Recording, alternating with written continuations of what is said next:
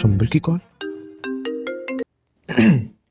Hello hi हाँ Sumbul Hi, Tabriz. I have a breaking news for you. I'm so happy. क्या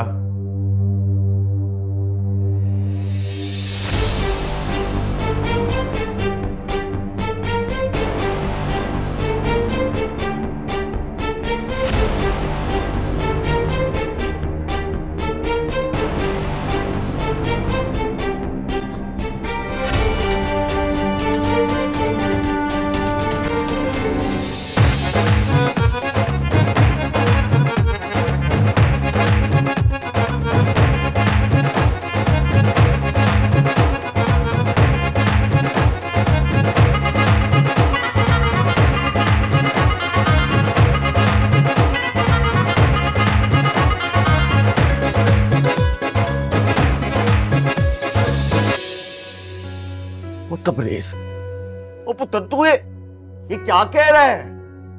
वो तेरा दिमाग तो ठीक है। एन शादी के वक्त कह रहा है कि मैं ये शादी नहीं कर सकता।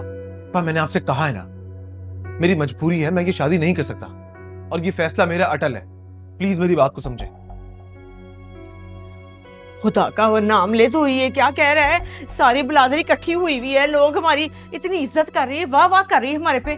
क्यों हमारे मुँह पे थू थू कराना चाहता है? और देखो तबरेज और देखो पुत्र मेरी बात को समझने की कोशिश कर बेटा तेरी बहन जो है अभी ब्याही नहीं गई घर बैठी है। पारफी का जो लंदन में पुत्र रहता है ना मैंने उसके साथ उसका रिश्ता सोचा है पुत्र मेरा तो सारा प्लान चौपट हो जाएगा। अब आप मेरी बात भी तो सुन ले एक दफ़ा। इस वक्त बातें सुनने का समझने का कोई टाइम नहीं है बेटा वो रहीला तीन दफ़ा आ चुकी है मुझे बुलाने की। ओ पार ओ पारफी का। गए आ जाओ जाओ बिस्मिल्लाह। वालेकुम अस्सलाम वालेकुम अस्सलाम। क्या हाल है?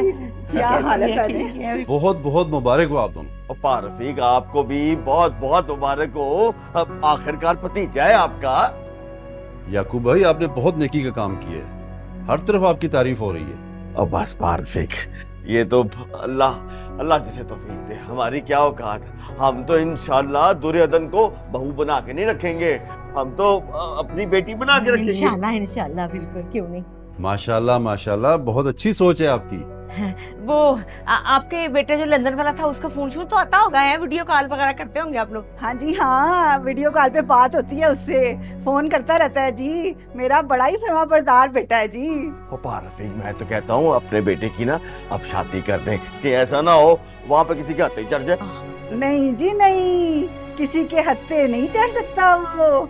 मैंने तो जी उसके दिमाग में ये बात बिठा दी है। कि उसकी शादी तो पाकिस्तान में ही होगी। जिंदाबाद भाभी जी जिंदाबाद। उफ अल्लाह मेरी टोकरियाँ यहाँ पड़ी हुई हैं। जी। चाची को सलाम करो है? चाचे तुम्हारे। कितनी सोनी होगी ती रानी। जूही कितनी बड़ी होगी माशाल्लाह। बस पा रफीक मेरी बेटी ने सिर्फ़ कद नहीं निकाला। बड़ी समझदार बेटी है मेरी। अ, पुत्र मेहमानों को नीचे लेके जाओ हैं? एसी वाले कमरे में बैठाओ। पारफिक आप चले। और खातर में दालत पूरी करनी है किसी चीज़ की कमी ना हो पा रफीक अ, आप बैठो हम आ रहे हैं। बातें भी करती रही साथ साथ। खुदा का वास्ता है तू।